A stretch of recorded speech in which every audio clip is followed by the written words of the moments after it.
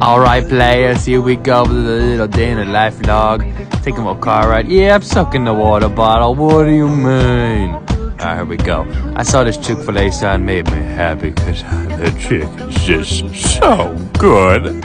Alright, and uh, yeah, here's the, the girl driving against a little car. Who knows what's going on here? Don't really know.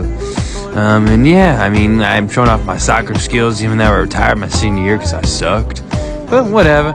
Did a little cinematic video of it too. Thought it was very nice. But you know, kind of a little jealous because my fat ass can't even ride the little kids thing, even though it's like, you know, I, I wanted to ride to be honest. But, yeah, that was my day. Um, love you all. Have a good day.